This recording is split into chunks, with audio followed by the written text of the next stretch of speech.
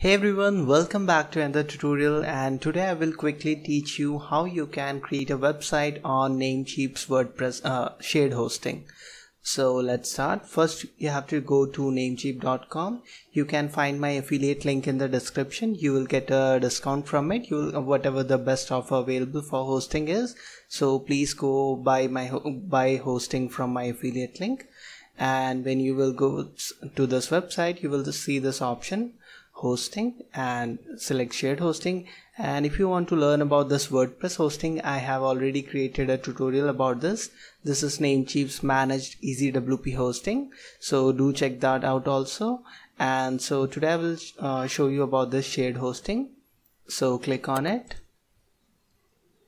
And now you will all see all the available plans. So select whichever plan is uh, best suitable for your needs I would suggest you to go with please uh, not select the stellar plan. And um, unless you have because um, it's limited with three domains and uh, has limited features. This has auto backup feature. So depending on your requirements you can select the plan. So for this tutorial purpose I will select the starter plan. So first select the plan and then click on get started and from here you will see this option uh, to buy a new domain or to connect to your existing domain. So if you don't have a new domain select this option and then click on new purchase. And from here you can search for any domain you want like um, your name Dot com. Okay like this you can search for the domain and then it will show you the available if it's available or not and you will see the price and then you can uh, select uh, click on this button connect to hosting. Then it will get added to your cart. So that's pretty simple but I already have a domain.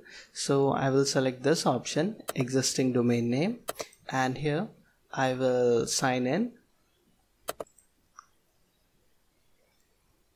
as I already have a Namecheap account and it's pretty simple to do so. And if you at any step uh, step you are not able to follow or if you get any error you can post in the comments or directly email me and I will help you. So after logging in you can see uh, it is showing me all the available domains in my account. So if it uh, as I use Namecheap as my main domain registrar so I will use this option your Namecheap domain name. If you have a domain registered with some other domain registrar like GoDaddy you will have to select this option and then search the domain name here. So I will connect my this domain bonjour.website select it and then click on connect to hosting.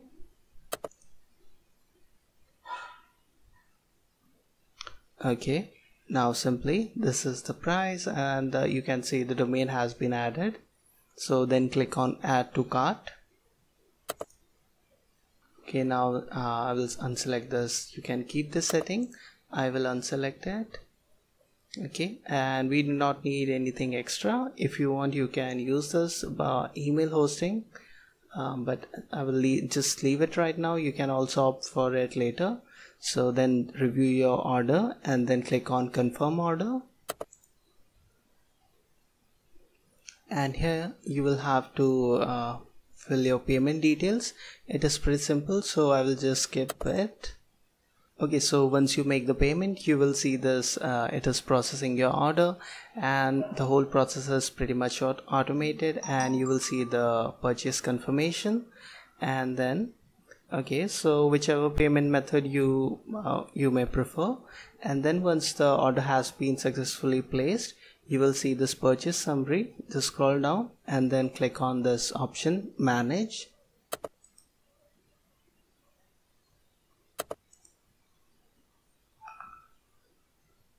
Okay so this is showing the message. Please try again in few minutes your cPanel account has not been created yet. So after two minutes, I refreshed this page from here.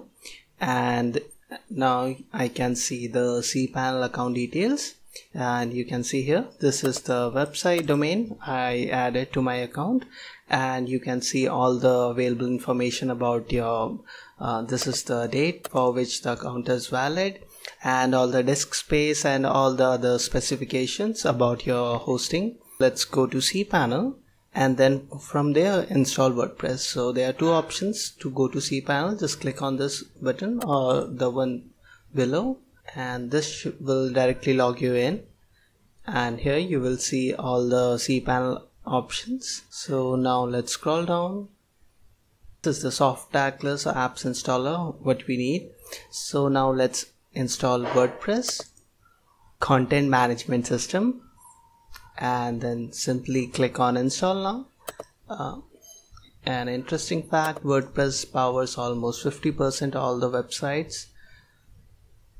And then select the select the latest available option. And from here you can choose the protocol. So just keep it on default and do not uh, change anything you can change all these options later also. Um, what you I would suggest you do is um, change this email to your actual email which is active right now. So for example I will change it to my email. And this is the same email ID if you have any trouble you can contact me directly. And this is the best method to contact me because sometimes I do not get uh, notification for YouTube comments so these are some of the extra plugins if you want to install. Um, I would suggest you to just skip it and just click on install. Here also enter your email ID and then click on install. Okay so the WordPress has been installed successfully on our website and our website is ready. Let's our website is live and you can see this so to log into the WordPress admin dashboard what you have to do is add slash wp hyphen admin and enter. All these details will also be sent to your email id so if you need any details you can check your email also. And here just um, enter the email details whatever you selected at the time of installation. By default this is admin and pass so just log in. Just a basic tutorial how you can create a website with Namecheap shared hosting. And now if you want to are interested in advanced tutorial like how to create an online store with WordPress or how to have a business website or you know anything like advanced like that you can subscribe to my channel. I create uh, tutorials useful tutorials like that. You also check the description for any related and useful links so I hope you found this tutorial helpful and I will see you in the next video.